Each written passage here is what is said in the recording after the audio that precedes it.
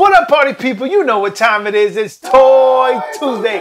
And today I feel like taking y'all back with the Mr. T action figure. I pity the fool who didn't have Mr. T. Yes, this figure by Galoob was the truth when we were kids, man. Um, you know, besides Muhammad Ali from Mego, Mr. T was the first, I guess, real life action figure for a lot of young African American kids out here. It was it was just a dope figure. And you know, let's let, us let us get into what it comes with. So he has his signature feather earrings, um, his dope gold bracelets and his rings, a fistful of rings. Um, he has his his bandana in the back.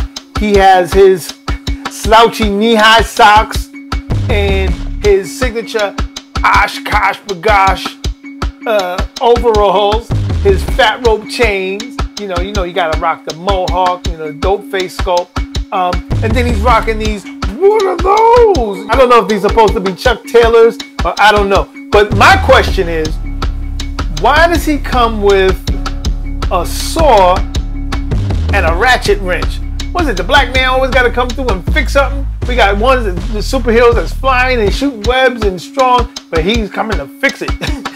um, I don't know. I'm just messing around, but I think this is a dope figure. This figure, first of all, I want to give a shout out to Galoob for making this figure. You know, Mr. T was the man back in the 80s, you know, and, and everybody loved Mr. T, and we all still love Mr. T, and they were forward thinking enough to make this figure. So this was a dope, dope, dope, dope figure. And I know so many people love Mr. T, love this figure, and I thought you should see it. So until next time, I'll see y'all on Toy Tuesday. All right, peace.